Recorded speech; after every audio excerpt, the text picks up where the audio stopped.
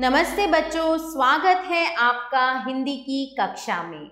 तरंग हिंदी पाठ्य पुस्तक बाय ब्रेन रूट सीरीज़ से हम आ गए हैं पाठ संख्या छ पर और पाठ संख्या छ है एक कविता जिसका शीर्षक है स्वच्छ वातावरण। चित्र पर आधारित गतिविधि है यहाँ बच्चों। पर्यावरण है हमारे जीवन का अभिन्न अंग। है स्वच्छ पर्यावरण तो हरियाली का बचता मृदंग। स्वस्थ रहेंगे हर पल, प्रकृति में इन वृक्षों के संग आइए जाने प्रकृति के विभिन्न अंग। स्वच्छ वातावरण हमारे जीवन के लिए अत्यंत महत्वपूर्ण है। स्वच्छ वातावरण हमें एक स्वस्थ जीवन प्रदान करता है, जो हमारे खुशहाल जीवन के लिए अति आवश्यक है। स्वच्छ वातावरण द्वारा हम आने वाली पीढ़ियों के लिए एक बेहतर जीवन बना सकते हैं। आइए इसके विषय में इस कविता द्वारा जानते हैं। आइए शुरू करते हैं। अगर स्वच्छ वातावरण ही ना होगा, कहाँ से धर, धरा पर ये जीवन रहेगा?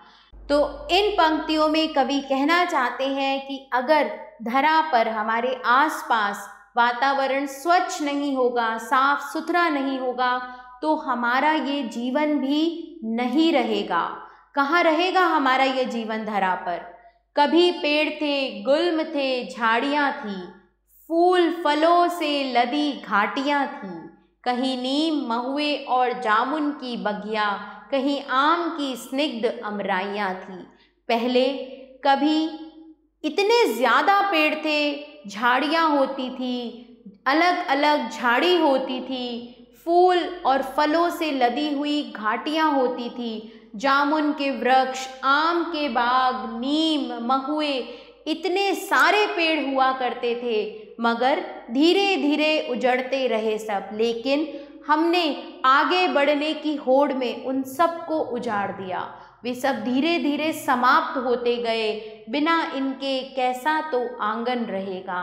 पहले के लोग आँगन में बड़े बड़े वृक्ष लगाया करते थे, लेकिन आजकल ऐसा नहीं है। तो इनके बिना आँगन कितना सूना रहेगा। कभी सुरसुराती थी पूर्वा हवाएँ। पूर्वा हवाएँ कहते हैं बच्चों, पश्चिम की ओर से आने वाली हवाओं को। तो कभी वो सुरसुर करती हुई इतनी तेज आती थी कि पसीने से श्लथ देह को गुदगुदाती। कि पूरे पसीने से भरी हुई देह गुदगुदा जाती थी। समय ही नहीं लगता था और पसीना सूख जाता था। ना पंखे, ना बिजली, सहज फिर भी जीवन। ना पहले के ज़माने में पंखे होते थे, ना बिजली होती थी, परंतु तब भी जीवन में सहजता थी, खुशहाली थी। कभी शोक पछुआ थी, पंखा झुलाती। क्योंकि शोक, नटखट पछुआ पश्चिम की ओर से आने वाली हवा पंखा झुलाती रहती थी। तो कभी पंखे और बिजली की कमी महसूस भी नहीं होती थी। नहीं पेड़ पल्लव जो होंगे धरा पर तो बस शीश धुनता ये यौवन रहेगा। यदि इस पृथ्वी पर पेड़ पौधे नहीं रहेंगे, हम सब उन्हें काट देंगे, वे सब समाप्त हो जाएँगे तो अंत में बस हमें अपना सिर ही धुनना पड़ेगा। हमारा यौवन सिर धुनते ही व्यतीत हो जाएगा। यही पेड़ है हमको ऑक्सीजन देते। पेड़ हमें क्या देते हैं? ऑक्सीजन। यही नित्य कार्बन डाइऑक्साइड पीते और नित्य कार्बन डाइऑक्साइड पीते हैं। अगर हम करेंगे ना इनकी हिफाजत तो मर जाएँगे हम जहर पीते पीते। यदि हम पेड़ पौधों को कटने से नहीं रोकेंगे, यदि हम इनकी सुरक्षा नहीं करेंगे तो वातावरण में कार्बन डाइऑक्साइड की मात्रा बढ़ जाएगी और हम उसी जहर को पीने पर विवश हो जाएँगे। नहीं ग्रास होंगे महामारियों के, जो संग साथ इनका हर एक क्षण रहेगा। यदि हम स्वच्छ पर्यावरण में, स्वच्छ वातावरण में जीवन व्यतीत करेंगे तो हम महामारियों का ग्रास बनने से भी बच जाएँगे। उजड़ते हैं जंगल तो गर्मी है बढ़ती, हर एक रोज़ जीवन की साँसें उखड़ती। आगे कवि कहते हैं कि जब जंगल उजाड़े जाते हैं नई नई सड़कों का निर्माण करने के लिए तो जंगलों के उजड़ने से गर्मी बढ़ जाती है। हर रोज़ जीवन की साँसें उखड़ने लगती हैं। ये कंक्रीट के घर, ये महले दो महले ना इनकी कभी होड़ जीवन में थमती। ये जो मानव की इच्छाएँ हैं कि वो महल दो महले बनाए, ये कंक्रीट के जो घर हैं, इन इच्छाओं का कहीं कोई अंत नहीं है। मगर ये है जीवन विरोधी उपक्रम। ना इन लालसाओं में जीवन रहेगा, लेकिन ये सारी लालसाएँ जीवन की विरोधी हैं। इन लालसाओं को पूरा करने के चक्कर में हम अपने जीवन को खो देंगे, उसे नष्ट कर देंगे। नहीं पेड़ होंगे तो फिर मेघ कैसे? उमड़ करके धरती पर बरसाएँगे जल? अगर पेड़ नहीं होंगे तो मेघ बादल कैसे आएँगे? और कैसे वो उमड़ कर धरती को अपने जल से सराबोर करेंगे। न बरसेंगे बादल तो फ़सलें न होंगी, नदियाँ बहेंगी, न कल न छल छल बादल नहीं बरसेंगे तो सारी फ़सलें सूख जाएँगी, फिर अनाज भी नहीं होगा, नदियाँ भी सूख जाएँगी। वो बहेंगी नहीं, अपनी मधुर कल कल छल छल आवाज़ करते हुए वे भी बहना बंद कर देंगी। जो पानी ना होगा तो कुदरत ना होगी, कहाँ फिर धरा का हरापन बचेगा? यदि पानी नहीं हुआ पेड़ पौधे नहीं होंगे तो बारिश नहीं होगी। बारिश नहीं होगी तो नदियाँ सूख जाएँगी। यदि नदियाँ सूख जाएँगी तो पानी ही नहीं होगा, तब फिर कुदरत का, इस धरती का हरापन कैसे बचेगा? न होंगे समाधान इन बिंदुओं के, परेशान दुनिया में जन जन रहेगा। कवि कहता है, यदि इन सभी बिंदुओं के समान समाधान नहीं होंगे तो इस दुनिया का जन जन व्यक्ति व्यक्ति परेशान ही रहेगा।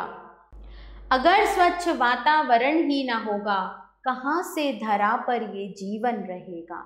टहनी सा जीवन झुलसता रहेगा तो उन्मन प्राणों का खंजन रहेगा। तो हमारा जीवन गर्मी की आग में टहनी सा झुलसता रहेगा और काली चिड़िया के समान प्राणों का वेदना रहेगी, प्राणों का दर्द होता रहेगा। ओजोन की परत निच्छिल रही है, धरा से हरेपन की छवि मिट रही है। कवि कहता है कि पेड़ पौधों के कटने से इस धरा पे हरियाली धीरे धीरे मिटती जा रही है और ओजोन की परत नित्य छिलती जा रही है, उतरती जा रही है। है ग्लोबल धधक ही यहाँ, इसलिए तो पिघल ग्लेशियर की परत बह रही है।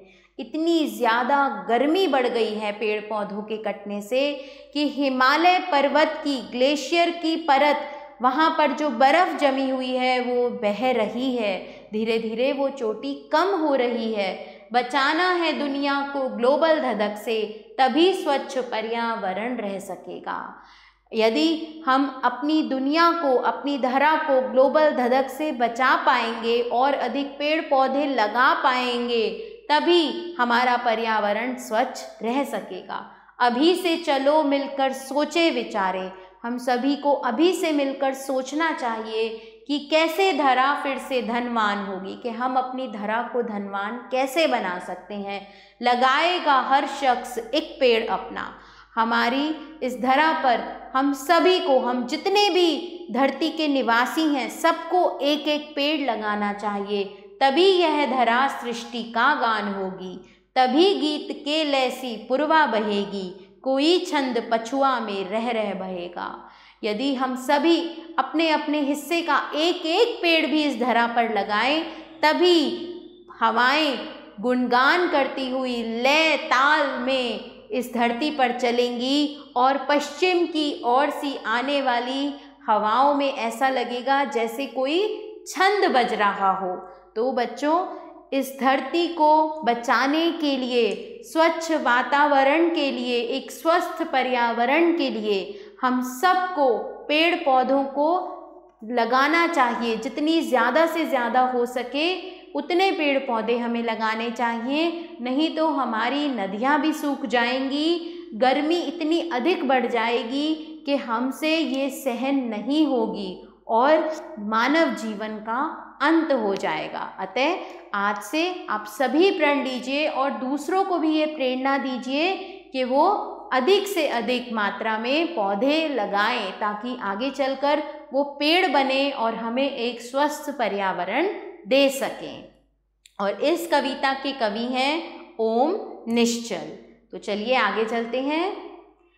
कठिन शब्द हैं जो आप अपनी पाठ्य पुस्तिका में लिखेंगे। स्वच्छ, स्निग्ध, अमराइया, पछुआ, हिफाजत, महामारी, शख्स, सृष्टि श्लत पल्लव, ग्रास, कंक्रीट, उपक्रम, ग्लेशियर। और यहाँ है शब्द अर्थ जो आप याद भी करेंगे और अपनी पाठ्य पुस्तिका में भी लिखेंगे। गुल्म का मतलब है झाड़ी, पछुआ, पश्चिम दिशा में चलने वाली हवा। घाटी, पर्वतीय प्रदेशों के मध्य का मैदान। हिफाजत, रक्षा या रख रखाव स्निग्ध, स्नेहयुक्त, चिकना या कोमल। उजड़ना, नष्ट होना, अमराई आम का बाग, उद्यान, उपक्रम, आयोजन या तैयारी, सुरसुराना, फरफर करना, उन्मन, खिन्न, उदास श्लत शिथिल, ढीला अशक खंजन, काले रंग की चंचल चिड़िया, शोक, चंचल, नटखट। बात करते हैं पाठ की, बताओ क्या पढ़ा? धरा कैसे धनवान होगी? पेड़ पौधों के लगाए जाने से धरा धनवान होगी। नदियों का हमारे लिए क्या महत्व है? जब बारिश आती है और नदियों में पानी भरता है, तभी हमें अपने जीवन की आवश्यकताओं की पूर्ति के लिए जल प्राप्त होता है। हमें पीने योग्य पानी मिलता है, किसान को, फ़सलों को सींचने के लिए पानी प्राप्त होता है। इस प्रकार नदियों का हमारे जीवन में बहुत अधिक महत्व है। जंगल और गर्मी का परस्पर क्या संबंध है? ये तो आप सभी जानते हैं बच्चों कि जब पौधे, जो पेड़ होते हैं, वो बादलों को लाते हैं, ठीक है? और उससे होती है बारिश। और बारिश से हमें मिलता है जल, धरा को मिलती है हरियाली। जंगलों और गर्मी का परस्पर क्या संबंध है?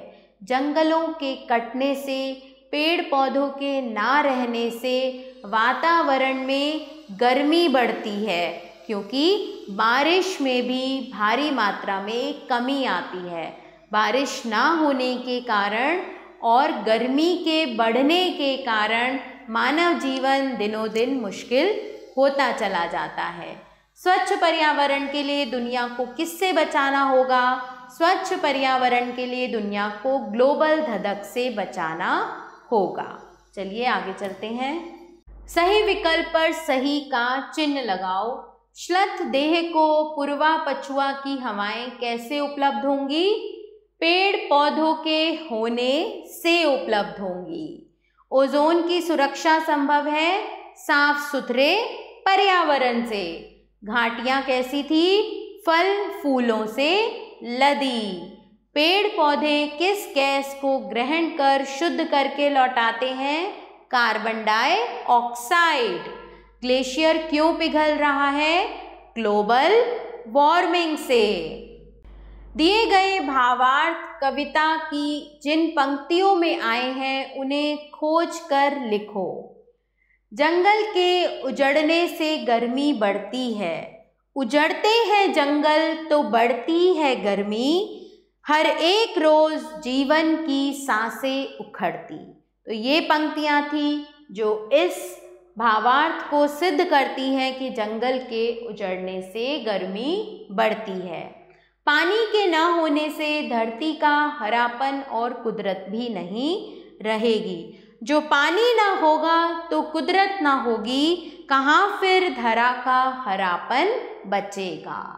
आगे चलते हैं। इन जीवन विरोधी उपक्रम और लालसाओं से जीवन नहीं बचेगा। इस भावार्थ के लिए पंक्तियाँ हमें अपनी कविता से ही लेनी है, ढूंढनी है। तो इस भावार्थ के लिए पंक्तियाँ हैं बच्चों। मगर ये है जीवन विरोधी उपक्रम जो ना इन लालसाओं से जीवन रहेगा। दुनिया को ग्लोबल की धधक से बचाकर पर्यावरण को स्वच्छ रखना है। बचाना है दुनिया को ग्लोबल धधक से, तभी स्वच्छ पर्यावरण रह सकेगा। निम्नलिखित प्रश्नों के उत्तर दो। कवि ने हवा के बारे में क्या कहा है?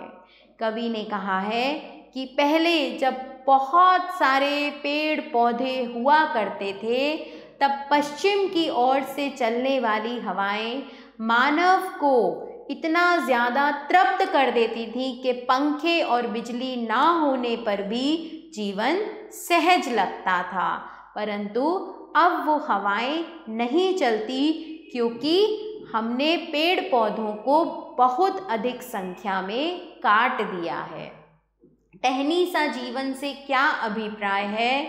टहनी होती है ना बच्चों वृक्ष की, जो एक सूखी टहनी होती है। इसी प्रकार पेड़ पौधों के कटने से हमारा जीवन भी उस टहनी के समान ही हो जाएगा, अर्थात वह नहीं बचेगा। पानी के न रहने पर जीवन का अंत हो जाएगा कैसे? यदि पानी नहीं होगा तो हम क्या पिएँगे हमारी फ़सलें सूख जाएँगी।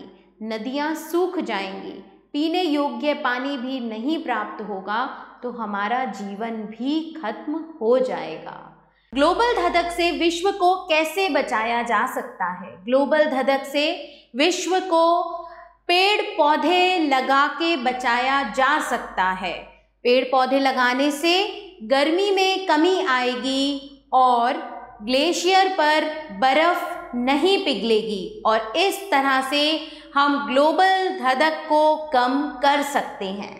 बादलों के बरसने से प्रकृति में चारों ओर हरियाली ही हरियाली छा जाती है। जब बादल बरसते हैं तो नदियों में पानी भर जाता है, जो हमारे जीवन के लिए बहुत ही ज़्यादा महत्वपूर्ण है। उस पानी से फ़सलों में सिंचाई होती है, जिससे फ़सलें लहलहा उठती हैं। यदि बारिश ना हो तो देश में अकाल पड़ने की भी नौबत आ सकती है। धीरे धीरे वन आदि के उजड़ने से कैसी परिस्थितियाँ पैदा हो जाएँगी? यदि हम धीरे धीरे वन आदि को उजाड़ते चले जाएँगे तो धरती पर ग्लोबल धधक इतनी अधिक बढ़ जाएगी कि यहाँ जीवन यापन करना असहनीय हो जाएगा। बारिश की कमी तो होगी ही, नदियाँ भी सूख जाएँगी। फ़सलें कैसे लहलहाएँगी अर्थात पानी की कमी के कारण वह भी सूख जाएँगी और धरती पर हाहाकार मच जाएगा। इसीलिए यह अत्यंत आवश्यक है कि हम सभी अधिक से अधिक मात्रा में पेड़ पौधे ज़रूर लगाएँ। अगला प्रश्न है बच्चों, पाठ के आधार पर दो प्रश्न बनाओ। अब ये मैं आपको दे रही हूँ, ग्रह कार्य। आप पाठ को दोबारा से पढ़ेंगे और पाठ के आधार पर दो प्रश्न बनाएँगे।